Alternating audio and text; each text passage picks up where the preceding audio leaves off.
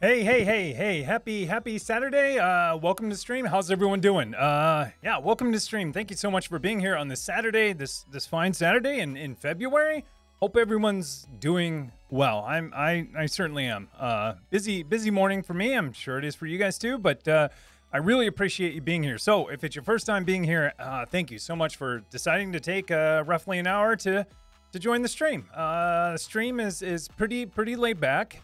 Uh, we talk about things we're interested in, things about tech, things we're struggling with, or maybe things that we're excited about, and uh, we we just kind of spend that time just just talking about it. I guess that's that's kind of how it goes. Uh, so if you have something you want to share, you want to talk about, or you want to you want to um, um, ask me about, absolutely throw it into throw it into uh, chat and let's let's talk about it. Uh, you know, we try to stick to tech. It it, it, it kind of veers off every now and then, totally fine. But uh, we try to stick to tech. Uh, I and you need to hold me that to that too, because sometimes I go off in the weeds. Anyway, but uh, uh, if you're not new here, thank you so much. Thanks for coming back. I really appreciate it. Um, and yeah, good to see some familiar names already. Uh, so yeah, uh, yeah, thank you, thank you. Um, so real quick, I, I, I mentioned that uh, yeah, it's roughly an hour. I know I started a little bit late. I apologize. I feel like my whole day is is about 10, 15 minutes late. I'm trying to get caught up. Uh, but uh, but but I've been super busy. I know you guys are, and it's it's easy to say, "Oh, I'm busy," but uh, yeah, I, have been really busy. Um, if you didn't notice, I, I, launched that video this morning. That that took uh, I don't know. that video took a long time. I know it doesn't seem like much, and it's like a 15 minute video, but when you like you know uh, prepare for a video and write the script and get everything working and and and you you expect it to work a certain way and you even test it ahead of time to make sure it's going to work a certain way you just think it's just gonna flow. And and most of the time i'll be honest a lot of my videos don't flow. This one didn't flow at all. I think it dried up. Dried up. It was one of the first ones where i where i honestly considered abandoning it. But i was like man. Anyways yeah so the one about PiKVM, yeah, I had some problems with the specific switch. It, uh, it, it, it, it's, it's kind of long and complicated. I explained it more eloquently in that video, but uh, basically, the PiKVM is, is getting this ID from this switch it's not supposed to be getting, and so the PiKVM gets confused. Anyways, um, so anyways, I, I, I, was able to get through that. I, I had a backup plan. Always have a backup plan with your with your data and with most of your life. And my backup plan was that EZCOO switch, but I, I, I you know, I spent a good five days thinking I can get this to work, um, when in reality I couldn't. So, anyways, long story short, uh, it's all working out. It's good. I, I love it, and it's you know, it's no fault of the Pi KVM. It's just that you know, in general, like this is tricky business. Like KVMs in general are, are tricky. Sometimes these things called EDIDs come from nowhere or somewhere. They come from somewhere, and it's not to be expected. So, anyways, uh, yeah, because of all that, I was yeah up late and then up early, and then getting things out and trying to get caught up, and so that's where I'm at right now. So. Anyways, enough about that. Then I'll get that out of the way so I don't have to keep talking about that throughout the stream. Unless you guys have questions about it, I'm, I'm happy to answer it. So, um, uh, I kind of start with weather. I'll go with weather. Uh, weather around here in Minnesota has been pretty good. It's been pretty good. We got spoiled like last week and we had some 40 degree days, which was pretty awesome. Um, and now we're kind of back in the 20s, 30s, but getting almost up to 40. But that's that's awesome for February because you know it could be negative 20 here, and it wouldn't be uncommon. If it were negative 20 today, I'd just be like, "Yep, it's Minnesota." But no, it's uh, it's 40 degrees. Um, so yeah, so it's it's it's really nice. I hope it's nice in your area, and uh, yeah, so yeah, weather it's pretty good, pretty good for February. Um, like I mentioned, if you got something you want to say, throw it in chat. I'm going to get to it here in a second, and we're just going to start from the top and, and work our way down. Um, really quick, uh, thank you so much. Uh, there was a hype train on the intro. I think, it, are we still in hype train? We were still in hype train. 15 seconds. Sorry. I'm getting used to the way that Twitch shows this. Um, thank you so much. I, I, really appreciate it. I want to call out those people really quick and get caught up on events uh, so that I'm not behind. Uh, but let's start from right here shortly before we started streaming. No Joker uh, John Handy, thanks for follow, appreciate it. Uh, Mr. Dad Venture Time, uh, thanks for follow, also appreciate it. Xavier D, how's it going, man? Resub, tier one, 15 months, woo wee, 15 months, woo wee. Uh, couldn't couldn't say I was here at 12:20. Yes, it's 12:20, but my resub came up, and now I can't type without losing the resub announcement. So, oh well, I'm just gonna sit here until the strum starts. I, I know what you mean because like you, you you if you resub, then you have to share your message and you're just sitting there in chat like I'll, I'll wait to share this. So man hanging out. I appreciate it man. Thank you so much. Mathney resub how's it going mathney good to see you uh, tier 1 28 months. Let's go man. Hello can't wait for my pi kvm to come in the mail. Yeah nice. Yeah it's it's an awesome awesome little device. Uh, I, I, I totally agree. I mean, both the, the, the Tiny Pilot and Pi KVM, they're both great devices um, you know, equally awesome. I think I haven't had as much experience with uh, Tiny Pilot, but you know, same idea, same concept. Uh, but oh, awesome nonetheless. Like, I feel like I have I have these superpowers now. Like, now I'm at the point where I can wake machines up with network packets. I can image them over the network and now I can connect to them when they're in the BIOS. I have like these three superpowers now that like when you know in, in my earlier IT and tech support days, it was like, man, this is real enterprise stuff. You know, wake on LAN, imaging, you know, PXE booting, and uh, uh, IPMI, uh, and now I have it. So it's it's pretty awesome. It's pretty fun. You know, it's a little different, uh, modern way of doing it, uh, but not as enterprisey, but uh, still fun nonetheless. I I, I love it. Uh, let's see. Um, before I go off on some tangent, um, let's see who else was here. Uh, thanks for the follow. Ar, Arno, Arnho TV, thanks for the follow. Uh, Rico, Rico WSK, thanks for follow. Appreciate it. Quantum Penguin, resub, tier one, 25 months. Dang, two years. Let's go. jeez, jeez. Thank you so much. Uh, Mathney also too. I, uh, that was what two years, two years, four months. Thanks, man. Appreciate it. Uh, Lord Gardenome, resub Prime, six months. Much excite. Yeah, much excite. All right. I guess I had to, I was all ready for that much excite. Yeah, thank you so much, Lord Gardenome. Appreciate it. Appreciate it. Six months. Let's go. Um, man, so so um, like I said, if you have something you want to share, throw it in chat and we're gonna talk about it. I'm gonna scroll to the top of chat and I know that I know that um that uh, Xavier D said he was the first one here at 1220. But the first chat that I see, because I think it only goes back an hour, so is Yakto. So yeah, man, thank you guys for being here. Let's see. Let's see if I can scroll up that high. I can't in the other chat, but man, thank you guys for being here. How's it going, Yakto? Yakto, how's it going? A lot of hellos. Uh, very thun. Huzzah. Let's see. Lots, lots of, lots of chit chat. Hello, hello, hello. Uh, let's see. Let's start here. Kai, uh, great timing. Uh, was just working on my home setup again. Finally. I feel like I always am. I I I, I don't know. I always kind of am because it's like it's like my thing. Uh, it's my hobby and and my I feel like my part time job at the same time too. So yeah, I, me too. me too. Uh, uh, Whoop, set up uh set up automation in Home Assistant to turn on heated blankets on the propane tanks when it's below negative 33 Celsius. Uh, can't wait to have propane gelling. Oh my gosh, negative 33? I think that's crazy cold because I think at some point around there, negative 33, 40 ish. Hey, hey, hey, retired night out. How's it going? Thank you so much. Uh, resub, tier one, seven months. Good afternoon now. How's it going, retired night out? Good to see your name. Uh, how's it going? Yeah, lights are flashing too. Thank you so much. Appreciate it. Uh, but yeah, so so Otiv, I, I think around negative 33 Celsius or maybe negative 40. That's where that's where like Fahrenheit and Celsius like meet.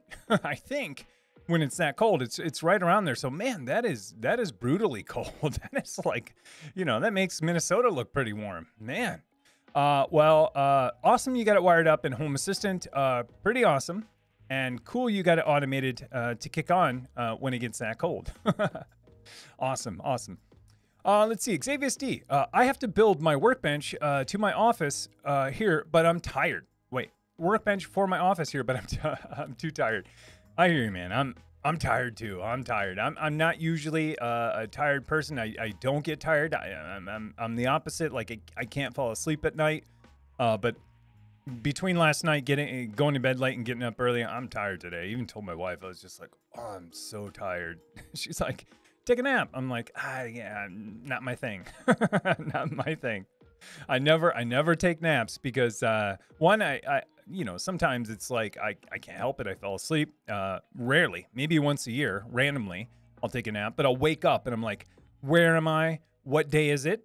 and uh, what time is work. Like I've been that way my whole life, and I so I so I I never nap. I never ever ever nap. Like for some reason I just I just don't because usually I oversleep, and then when I do wake up, I'm just I'm so like I don't even understand what's going on. It's kind of like when you travel sometimes and you sleep in a hotel, and sometimes you wake up and you're like, "What bed am I in? Where am I?" that's how I feel every time I nap. So uh, I don't, and not that I. That's not the only reason. I just I'm just never that tired, except for today. uh, Jimmy Jimmy Liffen uh, Lifem. Uh, for some reason, designing a rack mount case for a Raspberry Pi CM4 based open WRT setup. Awesome. That is awesome. So you're building a, a CM4 based open WRT and you're designing a rack mount case for Raspberry Pi. Awesome. Yeah, there's uh that's tough. So I, I assume it's going to be one U if it's a rack mount case, uh, and you're going to take up the whole U. There's a lot of space in there to work with there, but that's pretty awesome. I thought about doing that open WRT too. Um, uh, I thought about doing that also with the with the Pi because uh, it it sounds awesome. Sounds like a fun project. I know Network Chuck did it. Uh, did he do it? Yeah, he did it a while ago too. Um, sounds cool for sure. Sounds awesome. Uh, the only the only thing I hear about though is is is the AES AES because it you know the uh, uh, Pi doesn't have that instruction set on there. But I'm sure you'll be fine. But I always hear that like people say, well, like, well, you can't do AES on the Pi because then it will be software based. But I'm sure it's fine. But let me know because these are things I don't know. I just I, have just heard. Uh, Yakto, uh, creating some A10 backed instances for some stress testing gaming this weekend. Uh, looking to get eight VMs running at once. Awesome, man. Uh, whoa. Uh, what game are you guys playing for some stress stress testing for gaming this weekend? Uh, eight VMs running at once. Awesome. Eight VMs on one card. Eight VMs on one card. That sounds awesome. Yeah, I, I, saw you donated one of those to Craft too for his last uh, uh, AI uh, uh, video on um, basically AI art stuff. Uh, stable diffusion? Yeah, stable diffusion. Xavier's D is going to club me over the head with stable diffusion if I don't get that right. Uh, but yeah, awesome. That is awesome. Uh, curious what games and uh, what the VM specs are. You should post in Discord or even in here because uh, I'd love to see. I'd love to see that running. Cyber Knight, hey, how's it going? Trying to set up Mesh Central uh, or and or uh, Teleport in K3S. Awesome. So I, I'm a little bit familiar with Mesh Central. Funny you mentioned that because that's what I looked in originally. I was I was going to send stand up Mesh Central, and the reason why I was going to use Mesh me, that's so hard for me to say. The reason why I was going to use Mesh Central uh, was because uh, I, I, I, I had Intel NUCs and I heard that Mesh Central works really good with AMT, which AMT is this technology with Intel's a certain chipset and a certain, you know, pay a certain amount of money for these better Intels and, and you get remote access. And I thought this is perfect. This is perfect. I don't need I don't need, you know, at the time, this was before I even thought of PiKVM. I was like, I don't need, you know, IPMI. I got this AMT. And I, I started to implement Mesh Central and realized I didn't have the Intel NUCs with AMT. And I'm like, you you would have thought I would have tested that ahead of time. Anyways, like I think Mesh Central is, is pretty awesome. So it's uh, remote management for uh, uh, a lot of different machines, all different types of machines. Uh, but also, if you have Intel with AMT, it can remote control those through there too. And I thought Mesh Central is going to be it. That's how I'm going to remote control all my NUCs, you know, and, and, and, and, and configure them when they're off, but I don't have AMT. Anyways, uh, I hope you get it set up and I, I hope you like it. I, I, read a lot about that open source project. I think uh, the two of the two of the maintainers I think used to work for Intel, uh, but they might be laid off now. I don't I don't know. There was something on the on the repo where I was like, oh, that's that's kind of sad. Anyways, long story short, looks like a looks like a cool thing to play with. I almost started playing with it until I found out I didn't have the right Intel products. Uh, but teleport also also awesome. K3S, yeah, for sure, absolutely. Sounds sounds like you want some secure remote access. So awesome. So you're gonna get you're gonna get secure remote access going in, and then you're gonna get remote access going out to all your clients. Sounds fun. Sounds like a sounds like a good day there in the Cyber Knight home. uh, Lesser Team, Lesser Terrain. Uh, got my first Switch set up last week. Awesome. Old Cisco 3750, the Catalyst. Learning about VLANs, but kind of confused on whether VLANs should be on the Switch or on the router. Any suggestions? I mean, it depends. It it, de- it depends. Like I, I, went through the same thing uh, last week, when I was redoing my my uh, my some of my VLANs and and my my my UDM and my switch. I can I uh, what I and so this is particular to to to, to UniFi. Uh, but I have the option to move VLANs, so layer three stuff. I think that's layer three to um, to my switch and offload that to my switch uh, which I thought great because my UDM, you know, it's it's doing a lot of everything. Like it's you know it's doing my deep packet inspection, all my rules. It's it's it's doing my home security cameras. It's doing a lot of stuff. And I thought, sweet, if I can offload this to my switch, like yeah, that's a win-win. Well, what I ended up figuring out was like some of the security policies that you have that you can apply to those VLANs that are on that switch. I don't know the full details, but the more I read about it, I was like, well, if I can't apply some of my firewall rules to there, like, what's the point for me? So you might not be in the same situation. Uh, and I'm sure there are a lot of people who know, you know, networking. I, am absolutely sure there are a lot of people who know networking better than I do. Um, but uh, for me, like when I read about it and I had the option to, for me, it was in my head, I thought, I was like, sweet, I can offload that processing to something else because switches are more, I think switches are more capable of doing this type of work uh, possibly, and if that's how Cisco works, that's how UniFi UDMs are. Their their switches, their enterprise switches, are very capable and very powerful. Uh, where the UDM is is kind of capable, kind of power powerful, but not like the switch. And so I feel like my switch is being underutilized. But if you can do that and you can offload that and not have to worry about you know your firewall rules and they all work, yeah, go for it. I I mean, uh, again, I'm speaking from my experience. I'm sure a lot of people know this a lot better. Uh, but for, at least with my UniFi experience, my switch is so powerful, and I'm like not taking advantage of, of any of that. And I would love to offload that. So, but I can't. I mean, I can't now because uh, I think it's software implementation. So nothing against like you know the hardware itself. It's just I don't think UniFi's built that feature yet. Soon, TM, like always. before another uh, before right after they redesigned the whole entire UI for the 18th time.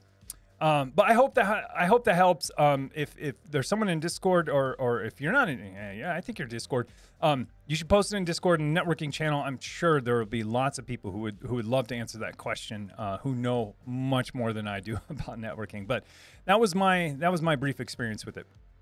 Franchise, fr- Frenchy, Frenchy. I I thought this is a franchise. Oh, I gotta I gotta check this.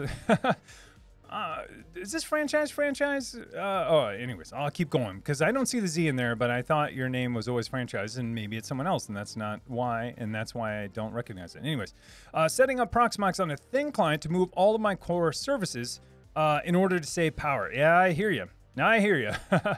I hear you. Uh, yeah, so I, I, I, assume if this was, I think it's franchise. Uh, it's, maybe. anyways, if you have a big server like a Dell R720, which if this was franchise, I think that's what you have. Anyways, um, yeah, it's it's going to use a lot of power, and if you're not using all that compute, yeah, it would be nice to kind of offload that to something more low power that's going to be on 24/7. Yeah, absolutely. It would be cool to fire that up that machine on demand if you needed to do something. Say if you needed to do some uh, batch encoding or batch rendering or whatever. It would be awesome to fire up that stuff on demand and uh, move those workloads over there automatically. Yeah, for sure, for sure. I mean, basically, like horizontal scaling. I, we, we use it at work. We horizontal scale when we when we have enough builds in our pipeline. We basically fire up a few more Kubernetes nodes and let those builds run on there. And then as soon as uh, as soon as Kubernetes realizes, hey, it's not as busy as it used to be, it'll tear down all those nodes. And it's what you want. It's what you want, but you want to you want a horizontal scale to the bigger one when you exceed some threshold. But Anyways, baby steps. First step is to move them to a machine that uses less power. So pretty awesome. Uh, awesome. If, if you automate that, let me know because I would I would love to know more about that for sure. Uh, three Pork Chop Express, how's it going? Uh, hey everyone, how's it going? Good to good to see you. Let's see. Uh, Kai, uh, getting my home lab quiet. Yeah, yet another another good thing to do. Uh, that I think kind of rolls into uh, power as well. But let's see. I, I, live in an apartment, and some and the systems are the same. Uh, let me start all over. I feel like I have to take off my glasses. They're kind of they're kind of blurry. Um, just like in my video. I yeah. Anyways, uh, getting getting my home lab quiet. I live in an apartment, and the systems are in the same room as I work in. Ooh, that's that's got to be tough. Uh, so I got myself a new system to run my core infrastructure. Hey, this, this ties right into what we were just talking about a little bit earlier. So my powerful machines could get turned off uh, when I don't do testing. Yeah, it's I, I think it's a it, it's awesome. I, I I think it's always good when you can shut down machines that are using a lot of power that you when you don't need that power. Absolutely, absolutely. It's it, it's a it's a win-win. It's because it's going to be less heat, less power, less noise. So those are the three you're gonna you're gonna save. Uh, you know, theoretically. Uh, and then when you're on Zoom calls, people won't be like, "Is there is there a vacuum running in the background?" That's what the people would ask me if I took Zoom calls in my server room. They'd be like, "Where are you right now?" Actually, they would probably know. They'd be like, "Oh, he's in his server room." But awesome. I, I hope you get it figured out. Uh, curious what your what your low power machine is that you're using that uh, you moved uh, some of your services to, and then also what what you um, what's the tipping scale for turning on the more powerful machine? Like when you say testing, is it, hey, I'm going to spin up a cluster of stuff and test some stuff? I'd love to know that too, because I'm always curious about like what what's the threshold to go with more power, besides for more power.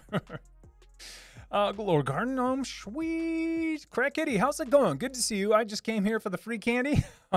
Home Lab can wait another day.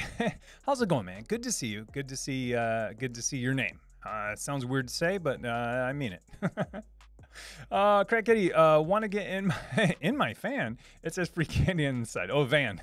yeah, I'm sure yours does, Xavier Steve. This is okay. This is getting weird. Oh, there's Van. uh, Frenchie. Uh, I would probably look at uh, conserving more power. We pay like zero, uh, 24 cents uh, Canadian dollars a kilowatt, I think. Yeah, anytime you can save it. I mean, e- even if it's not money, even if power's cheap, you know, and sometimes you just got to say like, okay, well, I, I don't need to to use all that power, but it depends. It really depends on what you're running. Uh, let's see, Skookal, Skookali, Skookale. Sorry, my eyes are so so messed up. Uh, I just set up a pfSense uh, so I can use the WAN 2 of my UDM Pro to route everything over Proton VPN uh, with UniFi routing. Huh. Let me break this down real quick. So you just set up pfSense. Got it.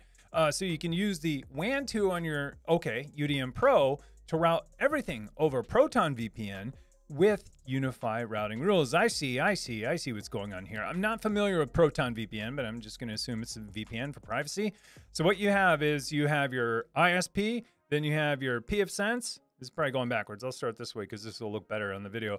ISP, and your router, and then you have your pfSense, which connects to your router, and then the the the the WAN goes into your WAN two of your UDM Pro. So then all your traffic ends up going through the UDM. I'm sorry, the pfSense, so that it's all I assume encrypted for privacy. Uh, and your ISP has no idea what you're doing except for hitting some VPN node. That's pretty awesome. That that is awesome. I, I I wish I wish a lot of routers just had this capability built in. I mean, uh, pfSense, you're obviously doing it there, but uh, yeah, I wish wish that was more common. Like, you know, because I feel like a lot of people would just just do it. Like if they had a VPN service, um, you know, outside latency and stuff, but if they weren't that worried about it, they would just they would just do it. I'm sure the VPN companies. I don't know. I don't know if they'd be happy or, or, or sad because there would be a lot of additional traffic. I'm sure they would be kind of happy because it's more data, but then also they would probably scale out. But yeah, it sounds awesome. So then your ISP is not all up in your business, like what you know, knowing everywhere you're going. Not that you're going anywhere bad, but you know, it's it's none of their business. But it is because it's on their network. So sounds awesome. I, would love to hear more of that. I, I and I hope I got it right. uh, Kai, uh, but I got myself a list of like ten different applications to test: Ansible, Maz, Grafana, and all that stuff. Taiga, Taiga, and more. Awesome. So yeah, that's that sounds like more than a weekend for me. so yeah, we're figuring out and running Ansible, uh, Maz for sure. Grafana, you could spend a career on Grafana and getting that working right, just the way you want it. And Taiga, not too familiar with Taiga, but uh, I've heard of it. So pretty awesome. Sounds sounds fun for sure. Uh, man, do you guys know about Taiga? Am I even saying it right? Taiga. Sound like it's like it's like tiger, but I'm I'm just leaving the R off. I kind of like it. Taiga. Uh, let's see. Uh, three Pork Chop Express. Uh, not home lab related per se, but I followed a best practice guide on Android Shield TV subreddit, and boy, did it make a difference. Uh, Plex never looked better. That is awesome. So I assume you have an Android. You have a is it NVIDIA Shield that runs Android TV? I think. I think. I think that's what it is. But awesome. I, I've seen the devices. I I would love to play with one at some point, but just never had the option to. But pretty cool. Pretty cool. And then uh, you followed uh, uh, best practice guide and getting Plex going. So I so I assume then it's uh, so you have direct stream working, so it's not doing any transcoding. Uh, so you're getting the highest quality, and you're getting you know the the the, the exact uh, you know the, the, the native I guess stream without any kind of encoding or, or, or sorry without any transcoding whatsoever. Pretty awesome. Pretty awesome. Pretty awesome. I'm all for that. Uh, Frenchie. Uh, let's see. Uh, 38 uh, Great British Pounds GBP. Yeah, that's what I'm going with. uh, I'm, I'm, making this stuff up. Kilowatts per hour here. yeah, not like this. 38, 38 cents ish. I'm going to say cents. Yeah, it's uh, it's getting up there. It's getting up there. Uh, let's see. Uh, Xavius, uh, Yocto is not required. You install Hannah Montana, Hannah Montha, why Hannah Montha Linux on your VMs. I have no idea what you're talking about. I almost said Hannah Montana because I had no idea what that even was. Kai, uh, question: Are your servers, especially the PVE hosts, uh, using Pi-hole DNS or using Pi-hole just for the clients? Um, 100% of everything uses Pi-hole in my environment. Let me grab a drink. So every everything, I mean, my only DNS is Pi-hole, and I have all of my VLANs are able to reach Pi-hole. So yeah, it's it's absolutely everything. My PVE, uh, my servers too, everything, even even my servers that are in my you know untrusted or or my public VLAN use it as well because I, I, I want to block things and I want to allow things and I want to create, you know, uh, A records or C names anywhere. And so, yeah, yeah, absolutely. Everything here does. Uh, I have three. I've said this before. I have three instances. Uh, two are load balanced behind Keep Alive D on one VIP, and then the other one's just standalone. and then they all pull their configuration from my main one. So really, I have one that I interact with. The other two, I forget they're even there. so, but yeah, I, I do uh, just because of what I mentioned. I, w- I want to be able to uh, block and unblock domains at will. Uh, I want to be able to create uh, A records or or uh, A you know A records. I don't know how to say it or host entries, A records really, uh, and then C names, which are references to A records. So I can alias stuff and say, hey, all of these aliases internally point to this one record. Uh, so then I can name my services whatever I want, but at the end of the day, they end up going to the same IP and then my reverse proxy figures it out. But yeah, I, I, I, absolutely do. I haven't changed much of, of my DNS infrastructure at all. Like I, have thought about Bind before, didn't really want to go down that path.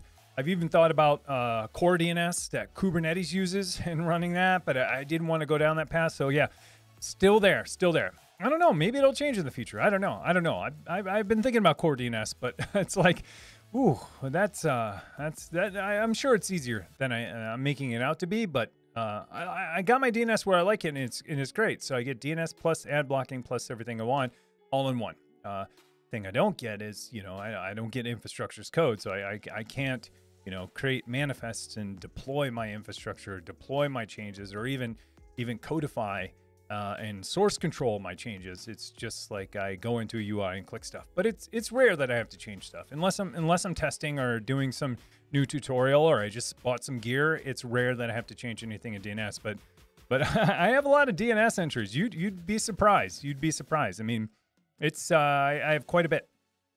Oh, the other reason why I, I, I was thinking about doing, you know, infrastructure as code for DNS too is is because of of uh, uh, basically like cleanup.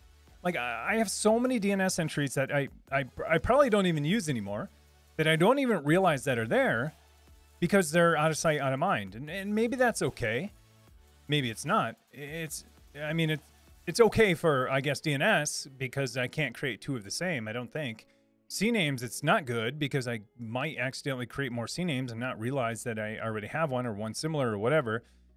But I would love, I would love at some point if it, if it were, if I were able to codify my DNS, like like uh, I think uh, with Bind um, or Core DNS or any DNS system, because then I can just open up VS Code and say find all, you know, find all and delete all these records and then deploy that uh, that change and just have DNS update because that that would be awesome because it's a it's a lot easier for discoverability for me to have uh, have my systems and code mainly because find all and replace all like my two favorite things you know and copy paste too. So you got copy paste you got find all replace all and if I have that for all of my configuration across all of my infrastructure, makes changes really easy. And it makes cleanup really easy too. So anyways, yeah, yeah, good question. Still Pi-hole, not doing anything different. Uh, still three instances and super complicated because I made it that way. uh, let's see, layer eight master. Uh, I cannot find a, I cannot find meaningful information on how to set up. All right, I, I might have to take glasses off. Sorry, just for a second. now I'm going to squint without glasses. Does that make any sense? I need a new prescription. I cannot find uh, meaningful information on how to set up network management uh, and and VIP uh, network in Harvester. I looked at the documentation from SUSE uh, and watched your video a couple of times, but I don't understand how that works. Oh, I got to dust off my knowledge in Harvester because it's been a while. I still have my test machine there, but I haven't been using it as much as I, I guess I thought I would. Um, but anyways, can't find meaningful information on how to set up management network uh, and a VIP. So I think to set up a, I, I think out of the box it comes with the management network. I mean, I think that's the original network that you get. Uh, you probably know that. Maybe you do, maybe you don't. But I, I, I, for me, for me, when I built mine, I had two NICs in there. One for management, and then one is like the backplane for the VMs and stuff like that. Um, and then there's YAML. and I'd have to dust off and look at my examples of how to do it in YAML or in the UI. Um, but that's, I mean, it's similar to, you know, like Proxmox, right? Like, I, I mean, grain of salt, but I mean, similar to Proxmox, you, you can or may or may not have a management uh, uh, NIC or port that you use specifically for Proxmox. And then you might have a NIC uh, that's used as your backplane or your control plane, backplane uh, for your network that's virtualized within their environment.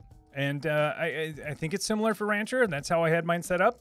Um, if you have something, if it's just like, hey, how do I? Yeah, ping me in, in, in Discord later on, and I'll see if I can dig up some stuff. If you have a very specific like problem, yeah, ping me that too. Well, let's figure it out. So I, I really have to dust off my uh, my knowledge on that because it's been a while since I've. Uh, I'm, I know I know it seems maybe not that long ago for you, but when I create stuff every couple of weeks, it's like, ooh, this seems like a long time ago. Anyways, long story short, let's figure it out. Let's figure it out. Uh, ping me in Discord or somewhere, and uh, let's uh, let's figure out how to get uh, your your management network uh, and your VIP working because because it's nice to have it. It's it stinks getting stuck on something that you know like after that you get to reap all the benefits and it, it, you know then it becomes a non-starter and you're like this thing sucks. I'm never doing it again. So let's figure it out. Uh waves and bits. Uh hi. Uh was just checking your website. Cool idea with github pages and jekyll. Thanks. Uh i should watch the video about jekyll soon. Yeah absolutely. Yeah it's uh it's it's kind of nice to be able to have github be your hosting provider. There's a few other ways to do this too, but yeah, absolutely. And then with DNS Magic, you can you can no one would even know it's on GitHub. Uh, I've had to take my infrastructure down for roughly a day when I moved my servers and I rebuilt my UDM Pro and all of that. And uh, I did some DNS magic one day and I said, hey, my DNS no longer points to my Kubernetes cluster, it points to GitLab, or sorry, GitHub. Uh, and for, you know, about six, seven hours, all of my documentation was getting, you know, fed out of there. No one even knew. Uh, not that you even need to know, but it's pretty cool. It's pretty awesome. I have a friend that did it with Cloudflare pages too. It's pretty awesome. It's pretty awesome to be able to build static content and then have someone else host it for you. It's like the best of all worlds. Like you don't have to worry. Well, one, it's static content, so you don't have to worry about like a server uh, uh, server, I guess, getting hacked or whatever. It's all static content. It's it's out there, and anything you throw on there is is public anyway, especially if it's a website um, less attack surface. And then on top of that, you have someone else host it, and then you're just like, yeah, you don't even have to worry about it. But pretty cool. And and, and if you if you're not a fan of Jekyll, there's Hugo. There's all kinds of static site generators out there. Uh, I just went with Jekyll because uh, that chirpy theme I really like. Uh, and it, for me, what it boiled down to was like, I don't care about the tool, you know, so much that's gonna, you know, turn my mark down into mark up. I more cared about the themes that I could get, you know, the important stuff. So I went after that route. But yeah, there's there's tons of Hugo Jekyll. You, like you can't go wrong. There's there's lots of other static site generators out there too, and uh, they're they're pretty awesome. You can make some good looking stuff uh, just in Markdown for sure. You could even make uh, decks now, uh, presentations. A friend of mine was showing me. Uh, MARP, yeah, it's MARP, M A R P. You could basically create like like a PowerPoint presentation, but not PowerPoint. Uh, you know, a slide or a deck uh, in Markdown. it knows no bounds now. it's starting to feel like YAML. Uh, but yeah, thanks, thanks for thanks for chiming in. Uh, Night Fox, uh, do you have any experience with Rancher setup K3s clusters being super unstable? Randomly goes down, showing blank uh, when it's been running for a week now.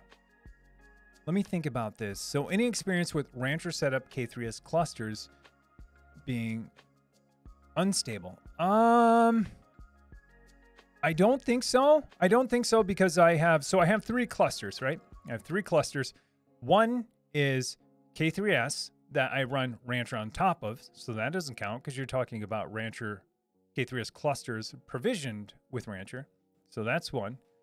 I don't have I don't I, I haven't run that scenario because I yeah like I said so I have K3S running uh, bare metal well virtualized but then I run Rancher on top of that then I have two downstream clusters one is RKE1 and one is RKE2 so no actually I don't because I wanted to like you know uh, spread my knowledge uh, uh, uh, uh, you know across all three of these I guess environments or versions of Kubernetes uh, and so I didn't do the Rancher provisioned K3S because my Rancher cluster runs on top of K3S. Super confusing. So it's it's the opposite of what you're talking about. So no, I honestly I haven't. Um, what I've learned from all of this, uh, doing this for a long time now, is that um, one, you got to make sure that you're using a version. Uh, so, so whatever your Rancher cluster is running on top of, you also have to make sure that that's supported. Like, you know, they have limitations on which versions of Kubernetes that they're compatible with. So, I mean, very first thing, make sure that Ranchers are running on top of a supported version of K3S.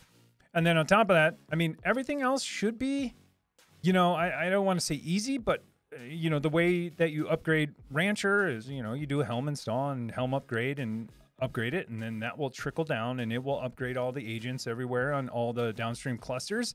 For me, that that just kind of works. I mean, I, I broke a couple of things that still don't work exactly right, uh, especially for my system upgrade controller. But other than that, no. Uh, the other thing is, I think, um, depending on how you have it installed, but you know that Rancher agent, I still think runs on Docker. Uh, um, so you'll want to make sure that you're supporting a version that they support. Um, other than that, I, I don't know. And when you say unstable, you should, uh, yeah, elaborate because uh, you know, is it the is it the cattle agents? Like, what part of it um, isn't working? And then when you when it does happen, like like where where does it happen and what are some of the errors? Because i think that will help isolate what's what's going on here. I know that you say it's it's it's randomly goes down showing blank. I can't see the blank. Uh, but let me know. Let me know. Because it would be be interesting to know. But i i yeah, I, I be honest like i mine's been really stable. And i'm not just saying that because i'm like yeah the, i live it and breathe it. But mine's been super stable. Uh, a lot of my stuff when it does go wrong is self-inflicted wounds, you know, and uh, I'm even to the point where I can shut the whole cluster down, turn it on in any order, and it'll heal itself. Within five minutes, my whole entire infrastructure is back up, running, and self healed. So it's been running pretty good. So, you know, so yeah, I, let me know. Let me know. Uh, How Weston. Uh, hi. Uh, hello. Recently hosted LittleLink server in my home lab. Thanks for the image. Oh yeah, no problem. No problem at all. It's uh, it's uh, it's a labor of love. Like I, I, I have fun building and and and maintaining that. I really do, uh, for many reasons. But yeah, I, I love it.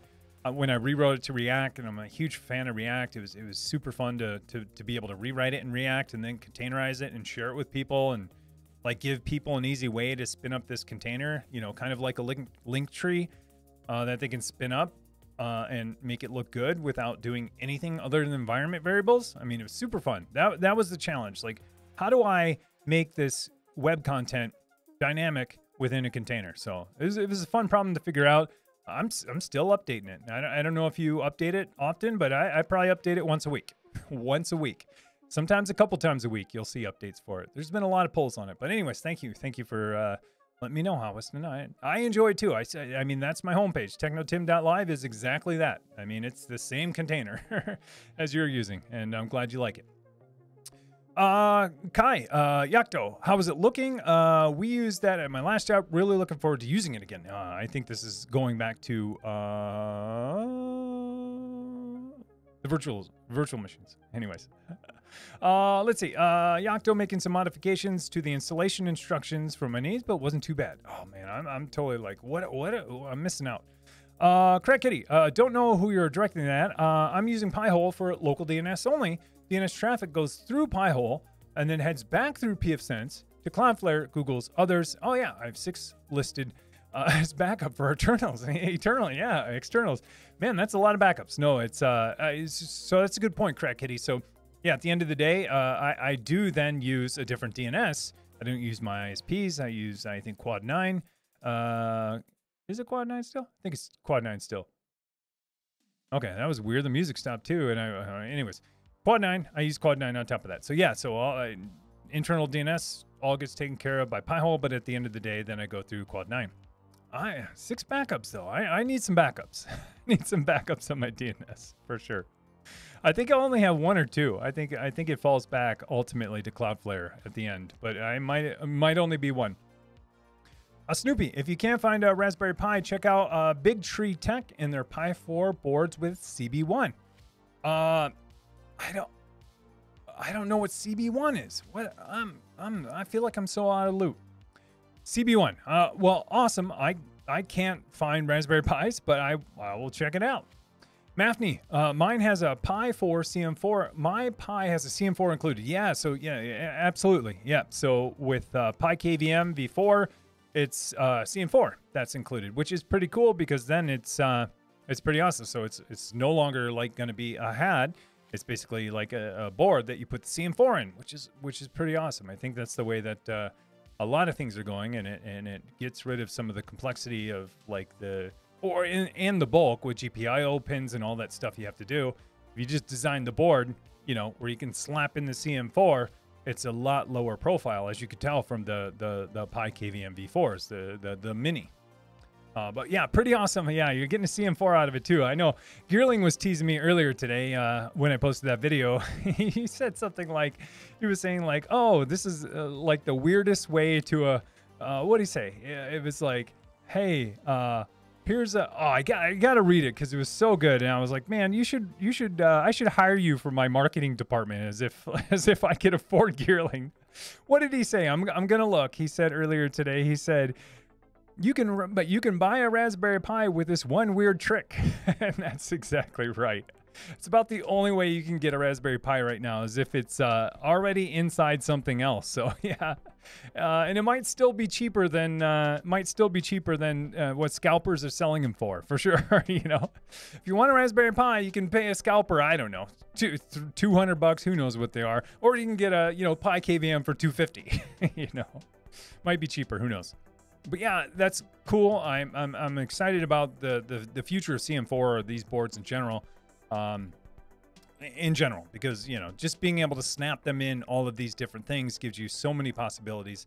And now there's like just this common interface instead of, I guess, the old common. It's it's like turning it upside down rather than you putting a hat, you know, on a on a Pi, and it's more like no, you putting the pie on the thing as long as it implements the same interface. So it's pretty cool. I, I, am excited for it, and uh, this is what the Turing Pi is two is doing. It's what a lot of people are doing. I'm jealous. You're, you, I, I see you already pre-ordered it, and uh, I, I, saw that uh, they're shipping uh, next month. So oh, he said, uh, and so Max. Anyways, I, I talked to Max for for a while. He's probably like, dude, this guy needs lots of help. Leave me alone. No, he's such a nice guy. Um, he said he's going to send me a prototype. Hopefully, the prototype gets here sometime, and uh, I can I can do some testing ahead of time too. So uh, I'm super excited for it. Uh, Tim Mama Pajama. Tim Mama, Tim Mama Pajama. Uh, hey Tim, looking at building a virtualization server, and I'm a little overwhelmed with motherboard choices. Uh, doesn't need, do, don't need something crazy. Could you recommend a super uh, micro board, AMD?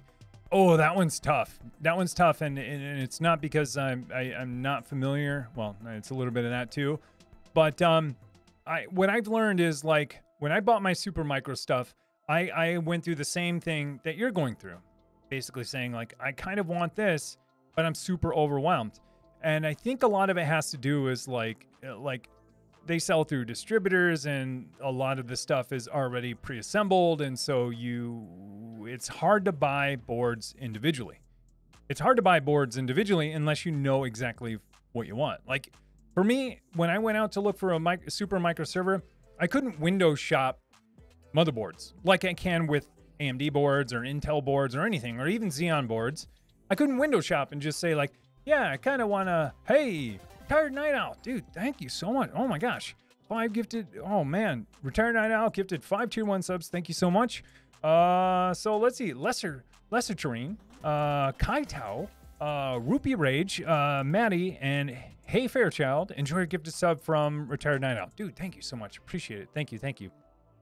Um, yeah, yeah. Um, but uh, what was I saying? Oh, yeah. So um, I, I feel your pain. I know exactly what you mean because I went through the same thing where I was like, hey, I want an Intel board and I'm gonna show me all your Intel boards and I'll pick my Xeon. It's so hard to find anything, and I think a lot of it has to do with it. Like they go through distributors and they, you know, have a bajillion different configurations. What I ended up doing, which ended up being kind of the easy button, but still not easy, was buying a bare bones kit. Um, because then I knew if I bought the bare bones kit, I knew that the board fit inside of the, the case that I wanted. Sounds odd, but you could run into a situation where it won't fit inside the rack mount that you want. Um, and then I knew it had the power supply that it needed, and all I needed to do was supply the CPU and RAM. Maybe that's what you're talking about, so I apologize if that's what you are. Um, but I, I would look for bare bones kits for sure. And it's tough too, because it's like, okay, then who do you go through? It's like a bunch of companies you've really never heard before, or things on Amazon that might be super overpriced, or you have no idea. I don't know. Long story short is it takes a lot of, at least for me, it took a lot of brain power to buy Super Micro, where I feel like everything else I've ever built and purchased didn't take a lot of brain power. It was more fun researching this stuff and with Supermicro, it, it is tough because I mean, I mean they, like I said, they go through distributors. Those distributors then sell certain configurations, and they're not, you know, those distributors uh, do a lot of B2B, and so they don't have a good, you know, B2C website, and you're just kind of like, oh, I just want to buy your products. Like, make buying your products easy. Ah, I, I wish Supermicro would do direct to consumer. I wish they would. I wish they would do B2C. They, are uh, probably not going to, I don't know, probably not a market for it, but I think there is. Anyways, uh, yeah, I feel your pain. So, um, I don't know. I mean, throw it in the hardware channel and Discord and let's let's find one. Let's find one because it, it's it's hard. And again, that's why I ended up buying. Uh, I ended up buying a, a um, uh, bare bones one because I, I couldn't do it anymore. I was copying and pasting part numbers everywhere and searching PDFs for part numbers that match this. And I was like, I'm done. Give me everything but the CPU and RAM and I'll figure it out. Um, let's see. Robert, hey, how's it going? Robert, how's it going? I, I don't know how to pronounce your last name. If it's Misen or Misen or Misen. But Robert, how's it going, man? Good to see you. Hey, Tim, good to catch you on. Good to see you too. It's probably late over there, isn't it? It's probably late. It's probably. Have not been on Twitch in a while. Well, good to see you, man. Good to see you. If you don't know Robert, runs a YouTube channel. He's uh, he's uh, all over Twitter too. Uh, does some home lab content. All around good guy. How's it going, Robert? Uh, Ted Ted Garrett Ted, Tedra Tedra Her. I want to say tetrahedron. Anyways, uh, do you think you'll ever ever do stuff with the GPT API stuff? Uh, I want to do a GPT project. Um, uh, maybe. Uh, you know, I don't know. You know, I'm. I. I uh, how much time you got?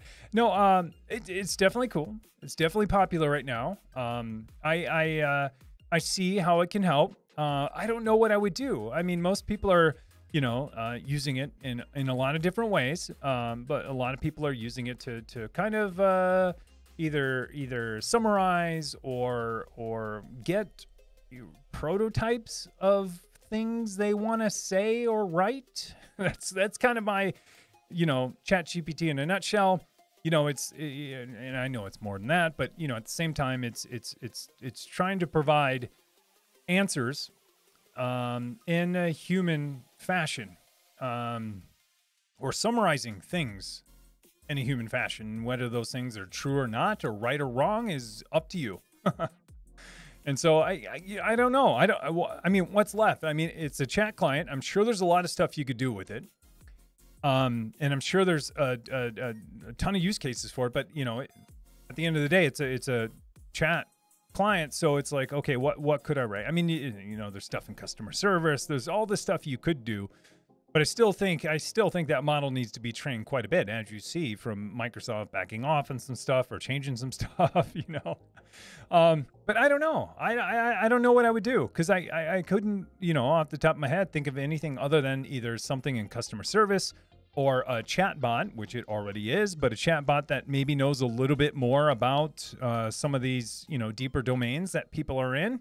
Um, but it, it's tough. I mean, it, it's it's you know it's pretty solid as it is now but yeah, it's tough. I so I don't know. I I couldn't think off the top of my head. You what do you want to do? What what what is your project going to be? How would you use that API? Um, yeah, I'm sure. I'm sure. Uh, Azure, Microsoft. I'm sure they're. I'm sure they'd love to sell it to you too, for sure. Uh, but no, it's uh, it's cool new tech. I'm excited to see where it goes. I, I, I do think it's it's still very early and it's only going to get better. Uh, a smaller GPT-J. All right, on my CPU. I tried to small. Oh, there you go. All right, all right. ODIV. All right, negative 40 they meet. All right, I was close. I was saying it was somewhere around negative 33, negative 20s-ish, but I knew it was very cold. So you got a few degrees to go, but still, that's pretty cold. So negative 40 is where they meet, where Celsius and, and Fahrenheit meet. So I don't. I would say I'll see you there, but I, I don't want to see negative 40. No way. Snoopy, uh, I wonder how long until uh, a Tim Chat GPT video is coming out. I, you know, I, I don't know. Like I'm, I'm, I'm kind of, uh, I'm, I'm over the hype. Like, okay, there's this diagram that says like, uh, there's this old diagram to talk about at work a lot. It's like, there's this, there's this peak for technology, right? And first there's this, this peak of uh, inflated expectations, and then there's the trough of disillusionment. And then it kind of goes back up to where people can really use it for real things. I think we're at that peak of the height of inflated expectations. And I think, I could be wrong, but I think we could drop back down to where people say, you know what, it's, uh, you know, uh, we, we, it's not as, I mean, it's great, but we don't know how it fits in yet and then we're going to see it skyrocket off and we're going to see it everywhere and it's going to be used exactly the way it should be. So i, mean that's just that's my take on where we are right now with it. Um, I, have used it. I, have used it. it definitely cool. Like it was great. I used it one time to write a warranty claim to samsung one of the few times i ever wrote it. I ever used it. Because i was like I, how do i sound polite but firm in an email asking where my warranty claim is? I was like i know. Use ChatGPT and it saved me you know it was it was fun to do and i had to tweak a little things but it was it was awesome. I was like this is great. This is uh i don't want to put mind power into like speaking professionally to this company who should be honoring my warranty claim and i should well, I shouldn't have to follow up and ask where it is or give me some tracking. Anyways all that aside it was great. Sent it out. Next day they they emailed me. They said it'll be there. It'll be there soon. Um so anyways i, I am definitely not uh not uh I, definitely impressed. I, I, I, still think there's a long way to go. I, I think it's really awesome from summarizing things or or I, I don't know. I, I, kind of look at it as like it's it's it's prototyping, right? It's it's rapid prototyping. It's basically for me in my mind, and I could be totally wrong, that it's it's it's the 3D printer of text, right? 3D printer of text. And what do I mean by that? This is kind of in my head. It's like, okay, if I if I and I'm not talking about all the real things you can do with a uh, with a 3D printer, but I'm talking about when you want to prototype something like a real thing that's going to become a real product that needs to get machined and you're going to need diagrams for and it's, you know, going to get mass produced.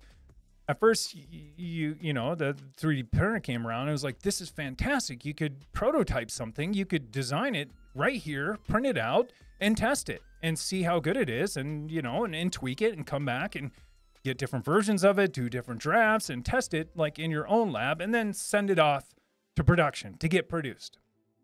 I kind of feel like that's what Chat B- Chat GPT, at least for me, has my experience has been. It's been, hey, summarize this thing, or I want to say these things, or I, I have these ideas, put them together, and show me a few options. And from those few options, I'm going to choose one of them, and I'm still going to make it better, and I'm going to send it off.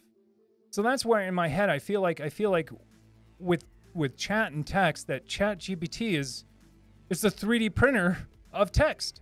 And that's not a bad thing. That's an awesome thing to have, but it ends up me not you know having to put the time and effort into doing something that is kind of mundane. Maybe it's research, maybe it's summarizing, but then it's presenting a few things to me for me to then make my own decision and make better and then decide on what I'm going to send out to someone else or to the real world or or even just keep as truth for myself. So anyways, I, I don't know. It, it, it's super interesting. I think it's very early. I think we're going to see a lot more. I think it's going to get very powerful in the future. And this is only the beginning. But I do feel like a lot of people have a lot of expectation a lot of people have a lot of expectations for it very early on and you know and i think i think like i said we're going to see that trough of disillusionment and then it's going to swing up again and it's going to be everywhere on everything and it's going to be second nature so anyways i you know i uh, we talk about this stuff at work sometimes and uh, you know I, i've thought about it too but I, i'm going to stick by it 3d printing of text that's a good thing. That's a good thing. Being able to, you know, rapidly prototype stuff really fast and and you decide on what's best. Absolutely, absolutely. Anyways, uh, you're probably like, what is this guy talking about? uh, let's see. Um, uh, retired now. Did you watch the Mister uh, video? I did not. I did not. I, I don't know what video that is. I don't, but I, I apologize. I'll have to check it out. Uh, Xavier D, uh, hold on. I've earned my gray beard. Uh, I'll nap everywhere. LOL, zero F's given. hey, I'm, I'm not critical of people who take naps. my wife would say different because I tease her. I'm not critical. Like, I, I get it. Like, I, I get it. Like, it would be awesome if I could turn my brain off for 20 minutes or four hours a day. Like, I would love it. I would love it, but that's just not how my body works. And I understand that's how some people's body works. It's not how my body works. I wish I could. I wish that could be part of my routine where I could. So maybe, maybe, you know, as I get a little bit older, it will. But uh, I don't know. For some reason, I, I just can't. I, I, I, it's almost like I have FOMO, uh, but, but FOMO of just being awake and it's, or, or being, I don't know. I, it's not like I'm like, oh man, I don't want to go to sleep because I might miss something. But I just think I, I don't know. I'm one, I'm never tired, and two, then I'm just kind of like, I could be doing something right now. That's the first thing I think about when I lay down. Oh, I could be doing this. That's probably not good for me, but it is exactly how I feel. Uh, eight matter. Oh, here we go. Eight. I'm going with eight. Mateo, Mateo, me. Oh, it's it's uh forwards and backwards. Is that is that onomatopoeia? Wait, um, is onomatopoeia? No, onomatopoeia is how it sounds. I don't know. It's same forwards and backwards. I forget. Anyways, hello from Italy. Hey, hello from the United States. hey, Block on Block Bogon Network says resub Prime eight months. Uh, I had a sweet 30 minute nap before tuning in. All right, I know. I know you guys are going to razz me. And I, again, like, I have nothing against people who take naps. I have nothing against it except for my wife. I razz her about it. Uh, but I have nothing against it. It's again, it's just it's just my mind and my body, and I I I, I like I said, I wish I could because I I would be able to tune out, and I would probably feel a lot better mentally if I could. But for some reason, my brain does not tune out. uh, Helen Hellenic guy, uh, Argo CD or Flux CD? I like it. I like it. Um, whatever works for you. Now it, it, it depends. Um, depends. I I use Flux. Familiar with Argo. I know that it's out there. I know that Argo is super popular. I mean, I would say try them both. Uh, I would try them both. Um, I feel like I feel like uh, as as as far as the product goes, that I feel like Argo CD is a lot further. It's a lot more approachable. It has a UI, you know.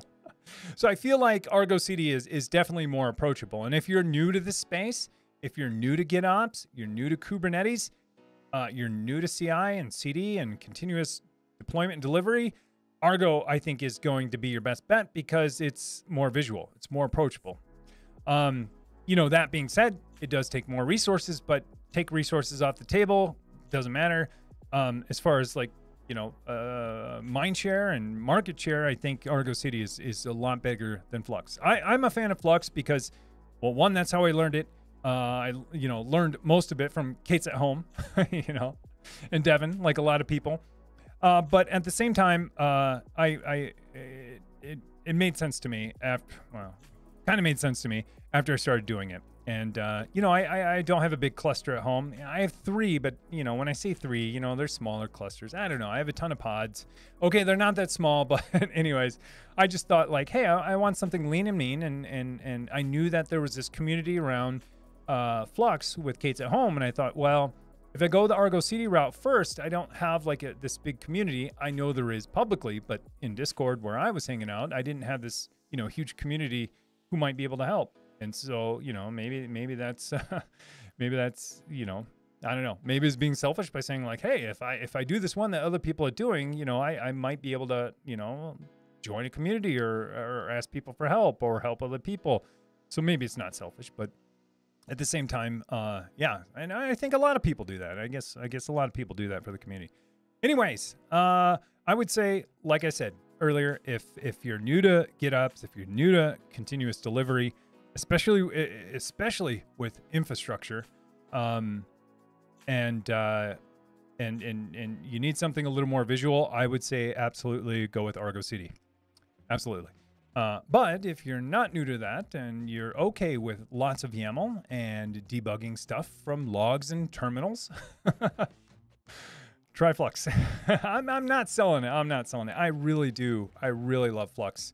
I just love, in general, any tool that allows me to make, you know, create infrastructures code or deploy my stuff or, or, or, uh, do things for me automatically where I don't need to spend that time doing that. Um, I, I just love because I, I, I get time back. I well I get time to do other things. It's not like I'm just like oh ah that was remember when that used to take a half hour. I, am gonna take a half hour nap now. no, no, it's like okay now I'm gonna fill that time with something else. but yeah, uh, yeah, awesome. Uh, I love them both. Uh, I have more, uh, much more experience with uh, Flux though. Captain Tidbit, hello Tim. Hey, how's it going? Good to see you. Good to see you. Uh, let's see. Uh, PC Geek, I use MeshCentral on K3S. Here you go. Here you go. Yeah, yeah, yeah. PC Geek's got it. He can help out. PC Geek found a Docker image, uh, and I have it running there. Yeah, I did see it too. That's exactly how I was going to run it as well. I used it for work and at home. Yeah, it's it's it's pretty awesome. It's pretty awesome, and it, like I said, it supports Intel AMT's uh, AMT out of the box, which is pretty cool because then you could you know basically get uh, get uh, IPMI on devices that are the Intel V Have AMT, but not a lot of people do. I thought I did mistakenly. uh, Waves and Bits, uh, working on replacing my HP Gen 8 server's NIC card. All right, NIC card, I like it. You got it, you got it, because network interface controller card. I always thought the C was card, but it's not. Uh, Lightning Strike took that out. Ooh, that stinks. That stinks. I'm hoping that never ha- happens to me. I've heard that can also like be very bad for DAC too. Uh, like uh, someone mentioned, I can't remember if it was on Twitter or on here. Uh, when I was saying I was using DAC instead of fiber, and they're like, "Oh, but you got to worry about grounding." I'm like, "What are you talking about?" And they were saying like it, like you know, you know, with fiber you don't have to worry about it at all. At least you know going through because it's light, but with you know copper you do. And I was like, "Oh man, if I had a lightning strike and it fried out all of my switches because they're all connected by copper, that would really suck." I would for sure be uh, filing an insurance claim on that. But yeah, awesome. Um, sorry you took it out, but that's awesome that you can get one in there and replace it. Because uh, I've had that happen one time. I had it happen on a modem way back in the day, uh, and I've had it happen on a network card before. But I've been pretty lucky ever since since yeah since then. I mean, I'm talking like 15 years ago was when my network card got fried. Even longer for that modem. Uh, Newbin, New Ben, uh, thanks for follow. Appreciate it. Welcome. Uh, Orbital, Orbital Teapot, uh, 418. I love it. Uh, time to retire my GTX 1080 uh, to the server for assisting with Handbrake and Plex uh, by using vGPU to unlock my unlock it on my virtual machines. But what GPU is the best value now? Ooh, that that's a tough one. I, I don't know, honestly. I haven't been in the GPU market for a while. I also have a 1080 uh, and sitting on the shelf. I have a 1080, I have a 1650, and I have a 1050 uh, sitting on the shelf. And uh, I should have sold them when uh, when the time is right. But I I don't know. I kind of wanted to hold on to them. Um, I don't know. That that one's tough. Uh, uh, I, I when you say it depends on what you're going to use it for. I assume since you're moving that one to your server to do other things, you want one for your main machine and for I assume gaming or encoding or whatever you're going to do on your main machine. Honestly, I I I I, mean. I've had a 3090 now for a couple years and I haven't even like looked. I'm still like like, you know, feel like paying off that mortgage on my 3090. So I haven't looked in a while. Um I, I know that AMD has some stuff. I know that Intel has some stuff. How how how generic can I talk about can I talk about this? To be honest, I, I don't have a great answer. I you know I think the hope was that GPUs would come down considerably, you know, after the supply chain stuff got fixed, but I don't think it dipped as much as people thought it was going to be. So I, I don't know how much of a value you get out, out of buying, you know, the previous generation versus the current generation. So I yeah, I'm not I, I I'm not entirely sure. Um Oh yeah. Uh it in uh, my go-to. In Discord. Let's figure it out because I would like to know at some point too. Uh, let's see. Uh, PC Geek VLAN routing is layer three. All right. All right. oh, is wait VLANs VLANs are layer two, I believe. Oh, I don't. I don't know. Hey, I'm. I, I believe you. Whatever you say. I just know that my Switch started supporting layer three uh, and so, because of that, I could offload my VLAN routing to my switch versus on my UDM. So, uh, you know this better than I. Uh, PC Geek, if you have VLANs that are strictly for segmentation and nothing to do with routing between those, it could be easily handled with just a switch. I prefer to keep them on my firewall router, pfSense for ease of management and routing between physical switches, access to VLANs over VPN, etc all in one place is nice. Yeah, I, I agree. And that's kind of, yeah. I mean, I, I, I didn't want to make it any more complicated than it kind of already is. And so I think you hit the nail on the head. For me, it was just like, okay, if I could offload and click a button and like not think about it, sure. But I, it's not that easy, as you can see, for sure. Uh, all right, Frenchie. All right, I'm not franchise, uh, but I do have 720s. All right, hey, I, I was so close, and it's funny because franchise spells his name with a YZ, and I'm like, wait, did you just drop the Z? Like, what is going on? Turns out you're not franchise but you also have a 720. I think I could pretty much refer to anyone in this or talk about anyone's system in this channel and be like, yeah, you got that 720, don't you? And like eight times out of 10, I will be exactly right. You're like, yeah, I do. How'd you remember? It's like, cause, cause everyone, no, or they'd be like, no, I got a 710, but good memory. no, I'm kidding. that's how I feel. Because uh, so many people have it. So many people had it. I had one. A lot of people have them for sure, or used to have one. They'd say like, "Nope, got rid of it," but thanks for remembering. no, I'm teasing. I'm teasing. I really do remember that uh, franchise has a 720 or a 710, one or the other. Hey, thank you so much, uh, virtual virtual Alex. Thank you so much. Uh, Risa Prime, two months. Thank you so much. Appreciate it. Uh, King King Nick, thanks for follow. Appreciate it. Welcome.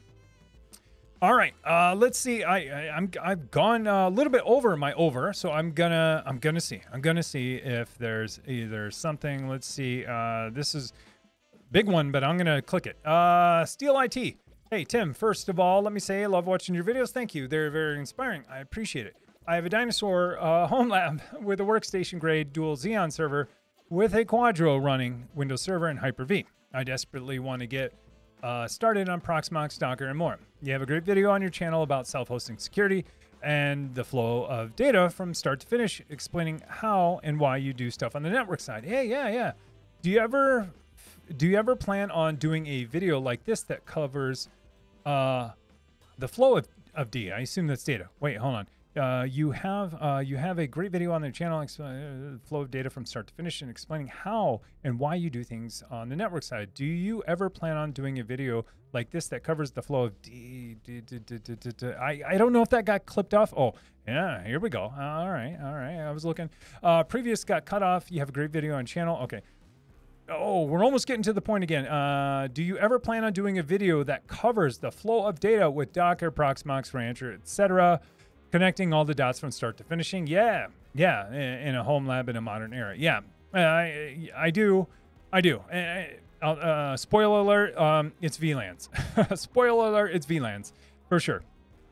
It's uh, and I, I talked about it in there, but I didn't like double click. I didn't like dive in uh, to how it should be set up.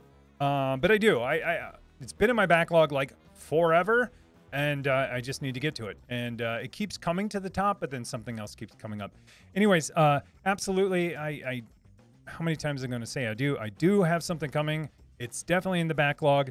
It's like at the number two or three spot right now. Um, that stack could always get pushed down or popped. Uh, but the answer is is is going to be VLANs. So it's going to be like separating out. It's going to be logically separating out what you what the roles are of these containers or these pods in in, in Kubernetes or these servers, and then logically grouping them on a VLAN or a, on a network, and then creating firewall rules to say, hey, you know what? and, and be explicit about it and say, this group does not talk to this group, or this group, except for this one machine, can talk to one machine in this group on this port. So it's really it's really just tightening things up. And so you know I, th- I think going to VLANs is is the first step, and then saying block all. Uh, the second step is maybe saying like, hey, IP to IP. But if you really want to tighten it up, then you say port to port too as well. So it's it's a combination of uh, IP and port and VLAN when you start creating your rules. But anyways, I mean that's how I have mine. That's that that was my plan at some point to kind of walk through my network like real world scenario. Like, hey, I do host stuff publicly in my house, out of my house, in my K3S cluster, and I do have stuff that I don't want public that I host internally in my home. And how does that all work? So I yeah, absolutely I do. I just uh, time. I'd love to do it. I'd love to. I'd love to at some point just have more time to do all this, but I, I need to get to it. So, anyways, that's a that's a really long-winded uh, way of saying VLANs, firewall rules. Check your firewall rules too. Uh, you know. Um, yeah, I absolutely I will. All right, all right, you guys. I'm, I'm I, I don't mean to like uh, babble. All right. Uh, here we go. W- one last, one last one because I just saw it here pop in. Uh, do you, have you looked into Cloudflare Cloudflare Zero Trust and using tunnels to access your externally facing services instead of port forwarding to your reverse proxy? Yeah, good question. Good question. Um, I have absolutely I have. So so so two two parts to this. Um, so there's Zero Trust and then there's tunnels. Those are different things. Um, those definitely different things. You know, obviously tunnels is is is a way for you to ex- expose your traffic or your, your, your services directly through Cloudflare's reverse proxy. And then zero trust is a huge buzzword, but basically at the end of the day is saying, I trust no one. I trust no one. I, I there is no perimeter. There is no, you know, gated wall to my network. Everybody needs authentication and everybody has to be authenticated in order to communicate with my services. At the end of the day, that, that's kind of kind of what it is, or at least how I understand it you know, and, and, you could say, well, VPN circumvents a lot of that. It does. It does. If, if you don't have authentication on something and you're just like, yeah, I don't, I don't need it because I'll VPN in. Well, I mean, that's that's what that's what zero trust I think is is is trying trying to solve. It's trying to say, don't trust anyone. It doesn't mean if you're on, you know, eh, here at home, I have stuff on my trusted network it doesn't mean I turn authentication off. Heck no. Heck no, I keep that on. So, anyways, long story short, so what Cloudflare then does is say, hey, they have two solutions. One, no more port forwarding, expose it through a tunnel to their reverse proxy. And then on top of that, slap authentication in front of that. So, your question is, have I done it? Yes, I've done it. I've played with it. Um, one, I am actually doing, yes, I, I am doing zero trust with Cloudflare, and it's it's pretty awesome. I, I have some publicly exposed endpoints that have authentication built into them. WordPress. I mean, if you go to my blog, you know, it, it, I can't easily hide how you log into there. I can obfuscate it and make it, you know, security through obscurity, but I, it doesn't make any sense to do that. So what I ended up with doing was just applying you know, and I'll probably have a video on this at some point. I I ended up applying because I just did it. Uh, zero trust policies to a part of that path to say, hey, you know what? My blog, 100% wide open public. But you know what? This path of the URL for logging in is going to require authentication from Cloudflare. On top of the authentication and two factor auth that I already have. So It's it's kind of a double auth thing, but I don't care. Because then it's saying like, hey, Cloudflare is going to handle this piece, and even if someone got through to that, then they still have to authenticate the way I want them to, and then they'll have to get through to that. So it's kind of a belt and suspenders. Anyways, long story short, long story short, um, so have I done it? Uh, yes, I have. So I've done the I, have done them both. I, I'm still doing the zero trust piece through Cloudflare. It's it's actually really cool. I can you know I can set it up on some of my domains either per subdomain or per path in the URL. Super fun, super fun to do, super cool to see it work. And you're like, oh, this is great. Um, as far as tunnels go, um, uh, you know I'm torn. I'm torn with tunnels. I'm torn with tunnels. I like it. I'm torn with tunnels because I have a reverse proxy and I have things in place and I have I have uh, firewall rules and I have uh, deep packet inspection and I have a lot of security built into my reverse proxy. And then on top of that, I still use Cloudflare to force everyone through their reverse proxy down to my reverse proxy before they can even get to my stuff. And, um, you know, I, I kind of have a, I, I don't know if I'm being old school or what it is, or I'm being like I, I feel like I have to have ownership of stuff. But for me, I'm I'm not comfortable. I feel this isn't this is how I see it. I'm not feel I'm not comfortable like creating like this back door on one of my machines for something to just come in. And I, I get it that Cloudflare, you're still gonna go through their reverse proxy. They're gonna, you know, vet everything that comes through. And as long as it's safe, they're gonna send it down. But then like I kind of I, I, kind I don't know. I don't know. And maybe I built up my infrastructure and my architecture a certain way, and I'm like, nope, this is how I'm going to do it. And so, I, so honestly, I, I don't have a need for tunnels because I have stuff in place to do it. I have a reverse proxy. I issue my own certificates. I still do do a double reverse proxy because I want the protection from Cloudflare. Um, but then I don't use tunnels because I have the infrastructure in place. If I didn't have the infrastructure in place, yeah, I, I'd probably use it. But at the same time, I would probably lock down things a little bit more. Um, I know at the end of the day, they're going to be sending, you know, stuff on port 443 or whatever port, and it's going to go, or 80 or whatever you want to do to that machine, you know. But at the end of the day, like for me, it's like, no, Cloudflare sends it to my reverse proxy, and it's going to block anything that comes through that one didn't come from Cloudflare, and two doesn't match any port or host header or certificates and all of this other stuff so I kind of feel like I feel like at least for me, like I'm I'm, I'm going to keep it that way because I have a little bit more control over what comes in. And I don't know, may, maybe I'm making it all up. Like don't get me wrong, if I was behind CGNAT or something like that, 100%, I'd be all in, you know? Or if I didn't if I didn't want to build a reverse proxy and host all that stuff and I just had one machine and yeah, I'd be all in. I'd be all in there too. Uh, but uh, yeah so i i mean I, I, I have i have the capability to do it myself so i'm i'm, I'm babbling now but um so for a lot of those reasons i haven't really you know organized my thoughts on that. I'm not using tunnels.